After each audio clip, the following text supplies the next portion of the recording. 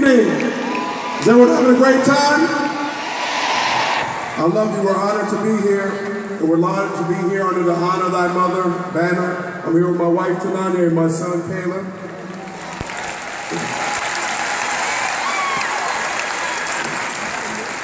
And the reason we launched this campaign is because our women are amazing. They are beautiful. They are compassionate. They are loving. They are the leaders in our community. And we see a culture that in so many ways doesn't honor and respect our amazing and beautiful women. When I was nine years old, my mom became a victim of domestic violence. And I would come home every day, and my stepfather, depending on his mood, would abuse my mom. I remember an occasion when he looked at our phone bill and he would rifle through the papers on the phone bill and ask her questions. He didn't like the answers he gave, she, gave him, and he puts it, he struck my mom. This would happen repeatedly. She would go to the police, she would get a restraining order, it would be ignored, he would come back and bring more violence to our family.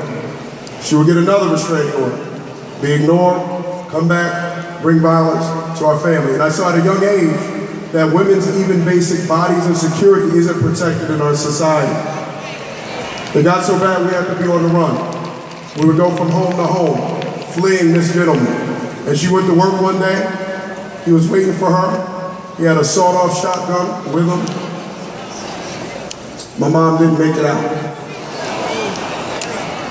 After I lost my mom, my grandmother stepped up, didn't even blink an eye.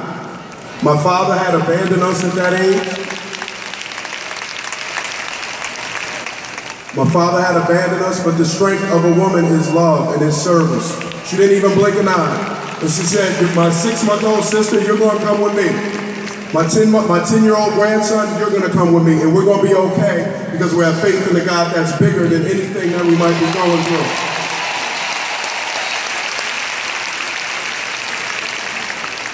And so this Honor Thy Mother campaign is about honoring and respecting and loving our mothers, our grandmothers, our aunts, our women, all women. We want this to be a permanent campaign. This is not just about Mother's Day. We want everybody everywhere. When you see a woman, it better be a smile on your face. It better be you're beautiful. It better be you're amazing. And it better be you're the most beautiful thing I've ever seen.